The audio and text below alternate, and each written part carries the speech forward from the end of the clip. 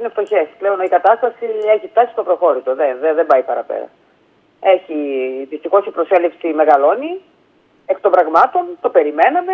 Μέσω δελτίου τύπου, η πρόεδρος των εργαζομένων του νοσοκομείου Καβάλας, Κατερίνα Πετράκη, γνωστοποιεί τις άθλιες, όπως αναφέρει, συνθήκες που επικρατούν στο νοσοκομείο Καβάλας. Δεν είναι μόνο, ξέρετε, η, η κόποση. Είναι και εκ των πραγμάτων κάποια πράγματα δεν μπορούν να γίνουν. Όταν δηλαδή είναι δύο άτομα στη Βάρδια και έχουν 40 ασθενείς, αντιλαμβάνεται πόσο κομμάτια να γίνουν. Ε, πόσα. Πόσα κομμάτια. Και, και ξεκούραστη να ήταν και νεότατη να ήταν, έτσι. Ναι. Θα πω εγώ. Πόσο κομμάτι είναι, είναι αδύνατο δηλαδή να είσαι από τη μία μεριά του κτηρίου στην άλλη την ίδια στιγμή. Δεν γίνεται. Η μάχη που δίνουν καθημερινά οι εργαζόμενοι του νοσοκομείου για να καταφέρουν να ανταπεξέλθουν στα καθήκοντά τους είναι δυστυχώς άνηση, αναφέρει μεταξύ άλλων η κυρία Πετράκη και υπογραμμίζει το γεγονός ότι το νοσοκομείο Καβάλας φίγουραρει πλέον στη δεύτερη θέση με την χαμηλότερη αναλογία νοσηλευομένων, ασθενών και νοσηλευτικού προσωπικού και επειδή δεν υπάρχει περίθαλψη χωρίς νοσηλευτικό προσωπικό, είναι εύκολα αντιληπτό να αναλογιστεί κανείς την κατάσταση που έχει περιέλθει η παροχή υπηρεσιών, αναφέρει μεταξύ άλλων η κυρία Πετράκη. Οι συνάδελφοι είναι αγανακτισμένοι πλέον, δεν αντέχουν. Μάλιστα. Δεν αντέχουν. Έχουν ξεπεραστεί όλα τα όρια. Δεν αντέχουν. Ναι, και τι, Και, και τι... βέβαια και μέσα στον επόμενο μήνα λήγουν και τα πιστοποιητικά νόσηση από τους συναδέλφους μας που δεν έχουν εμβολιαστεί και εργάζονται με πιστοποιητικά νόσηση και δεν υπάρχει ούτε μια ξεκάθαρη απάντηση και γι' αυτόν θα μείνουν ή θα φύγουν. Δηλαδή, στην αντικατάσταση που έχουμε τώρα, να προσθεθεί μια ακόμη χειρότερη.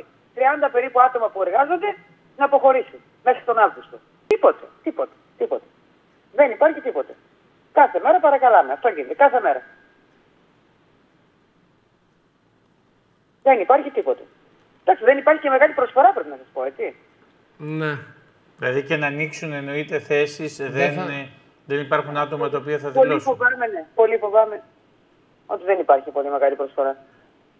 Κοιτάξτε, έχουν τόσο πολύ καθυστερήσει οι διαδικασίες που αντιλαμβάνεστε ότι το κάθε ένα, κάθε ένας συνάδελφος έξω κάπου αλλού δουλεύει. Δεν θα αφήσει τη δουλειά του να έρθει για ένα χρόνο.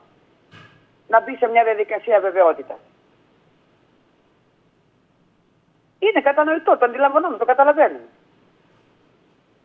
Μόνο μόνιμες προσλήψεις θα έχουν, θεωρώ ότι θα έχουν τον αντίκτυπο ώστε να, γίνει, να γίνουν μαζικές προσλήψεις και να έρθουν να κάνουν τα χαρτιά τους οι συνάδελφοι. Εκεί, εκεί, τι να πει η διοίκηση; Τι να πει; Τι να πει η διοίκηση;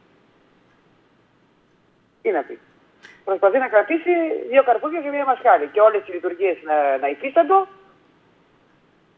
Ναι, δεν γίνεται όμως, δεν πάει έτσι. δεν πάει Δυστυχώς έτσι. δεν γίνονται. Δηλαδή, μα ξέρετε τώρα, ε, αναγκαζόμαστε εμείς που, που είμαστε οι πρώτοι που πάντα βγαίναμε μπροστά για να μην υποβαθμιστούν, οι- υποβαθμιστεί το νοσοκομείο, να αρχίσουμε να προτείνουμε να, δι- να, να αναστέλνονται λειτουργίες. Διότι δεν γίνεται. Υπάρχουν χειρότερες καταστάσεις και περιπτώσεις από το νοσοκομείο της Καβάλας στα υπόλοιπα, κύριε Πετράκη; Κοιτάξτε, ε, Γιατί για τη δράμα γινόταν λόγος, γινόταν για τις αίρε, γι' αυτό ρωτάω. από μία έρευνα που κάνει. Ναι, δεν ξεχνάτε όμως η δράμα και οι, και οι Ξάνθες δεν έχουν πλέον κλινικέ κορονοϊό. Ναι, Τα περιοδικά διακομίζουν. Δεν στην Αλεξανδρούπολη, είτε Καβάλα είτε Σέρες. ναι. Απλά στην, στο, αυτό που γράφουμε στο δελτίο τύπου ότι στην αναλογία ε, νοσηλευτών και νοσηλευομένων, νοσηλευομένων, έτσι, όχι κλινών. Ναι, ναι, γιατί ναι. πολλοί μπερδεύονται με αυτό. Νοσηλευομένων ασθενών, είμαστε δεύτεροι, χειρότεροι, με πρώτο το Θαγένιο. Με πρώτο, Το Θαγένιο.